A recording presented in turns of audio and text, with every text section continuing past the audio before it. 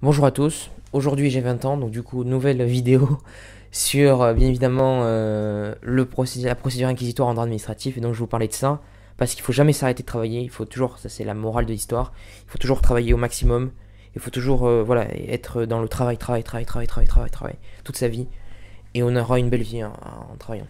Voilà.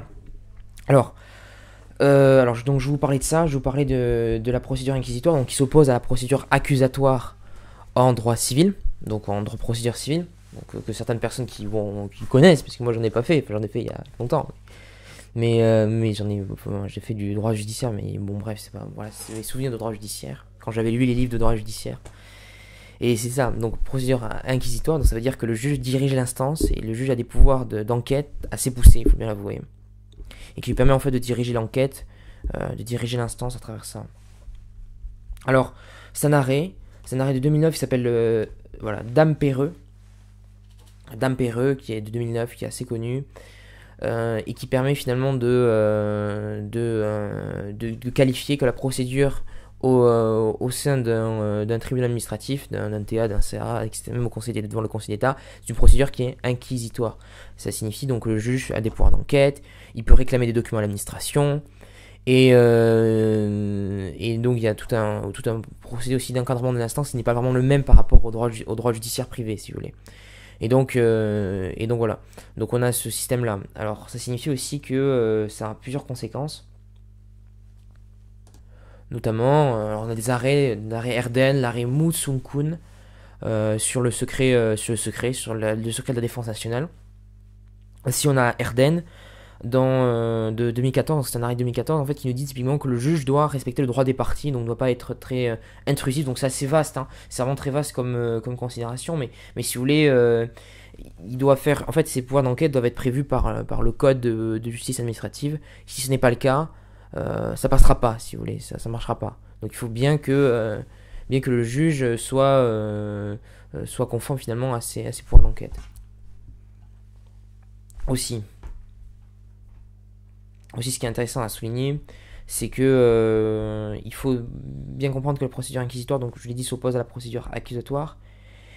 Et, euh, aussi, je vais vous parler de quelque chose, c'est l'arrêt cordière de 2012, donc qui, euh, qui, qui, vient un peu contrecarrer finalement Erden, qui vient en fait, Erden est une atténuation de cordière, si vous voulez, en quelque sorte, puisqu'il imprécise typiquement que, alors je vous le lis en le, considérant, il appartient au juge administratif dans l'exercice de ses pouvoirs généraux et de direction de la procédure d'ordonner toutes les mesures d'instruction qu'il estime nécessaires à la résolution des litiges donc réclamer des documents. Mais en même temps, on a Erden et on a, on a aussi euh, Musunkun de 2000, cet arrêt qui nous dit que, typiquement que le secret de la défense nationale, c'est pas possible. C'est-à-dire en fait que le juge, entre, il doit utiliser son pouvoir de, de manière, euh, manière loyale. Et donc, euh, donc dans l'égalité des armes, donc qui est l'égalité des armes qui est aussi autre chose, qui est un corollaire de, de l'inquisitoire. Si on a un inquisitoire, il faut qu'il y ait une égalité des armes. L'égalité des armes, c'est en fait c'est l'article, c'est finalement c'est euh, la Cour européenne des droits de l'homme qui nous l'invente et c'est depuis un arrêt de, alors je vais vous le dire, je l'ai pas, alors c'est un arrêt néerlandais. Je suis assez mauvais en néerlandais. Si vous voulez, je sais dire Igben, euh, Igben, donc c'est je suis en néerlandais. Igben à Kasmaker, je suis chez le fromager, c'est tout ce que je sais dire. Je, vraiment, je, je suis en néerlandais. Mais c'est une langue très belle. Et euh, Ruud Morgan, euh, Plague, ce genre de choses. C'est Plague, c'est l'équipe du soir.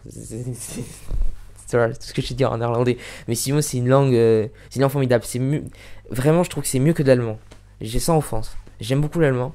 Mais je trouve que le néerlandais, je sais pas, il y a quelque chose. Il y a, y a quelque chose que j'avais des livres de néerlandais que j'ai prêté à des gens, mais, mais c'était, euh, c'est quelque chose. Bon, allez, bref, passons. Alors, je vais essayer de vous retrouver ça. Je, je vais faire un.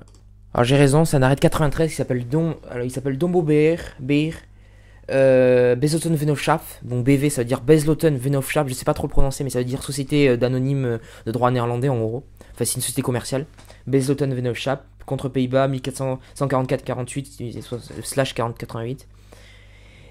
Et euh, en fait, il faut que c'est en gros, il faut que la partie, que toutes les parties, c'est-à-dire l'administration et l'administré, puissent présenter en fait leurs conclusions de manière euh, égale et puissent partager les conclusions entre eux. C'est-à-dire, il faut pas que, par que ça empêche finalement des procédures secrètes, typiquement. Ça, ça permet d'empêcher ça, si vous voulez, en quelque sorte. Et, euh, après, on a tout un truc jurisprudentiel dont je vous parlerai dans une autre vidéo. C'est la récresse contre France, tout ça. Et nous, ça, ça a été, euh, nous, ça, en fait, ça permet comme ça. Donc après, il y a tout un développement qu'on peut, euh, peut partir dans ça, dans l'égalité des armes, qui est le fait que les membres de la juridiction administrative sont indépendants. Et dans cette condition d'indépendance, ce sont pas, ce sont des, des, sont pas des magistrats, si vous voulez, mais ce sont des gens qui sont indépendants, notamment au Conseil d'État. Ce sont pas des magistrats, enfin, ce sont des magistrats objectivement, mais, mais si vous voulez, ce sont pas des magistrats au sens du magistrat de droit judiciaire, mais si vous voulez, ce sont des gens indépendants. Voilà, c'est amusant. Bon allez bref, je, je, vais arrêter cette vidéo. Bon merci, merci encore, et merci de m'avoir écouté. Allez à la prochaine et je vais peut-être faire une vidéo après euh, euh, sur marché intérieur, sur liberté de circulation des capitaux, tiens.